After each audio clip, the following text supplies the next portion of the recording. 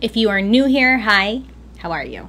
When I'm like looking into this this case and I'm reading all into it, I'm like, yeah, yeah, yeah, yeah, yeah. And then it comes down to me pronouncing it, like the names and stuff, and I'm like, why, why did I do this to myself? Look. Lecudero o la bon aubergine.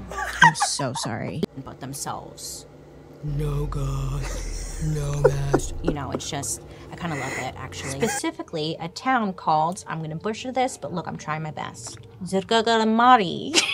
Zugaramari. Wait, Zugamardi. Wait, Zugaram Zugamardi.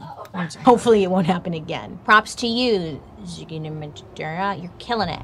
Obviously, really pissed off the banana man. They were also perpetr- perpetrating I don't know if dissect, dissect, I don't know if dissect is the correct word. Dismember. He's Senator Kefauver.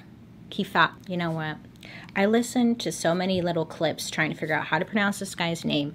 Kefauver. I never saw Harry Potter, but I'm being told it's giving like Lord Voldemort.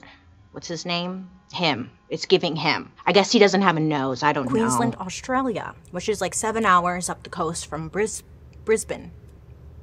How'd I do? I watched a ton of pronunciation videos. Okay, come on, Bailey. Sao Paulo, Sao Paulo, wait, Sao Paulo, Brazil. Did I say it?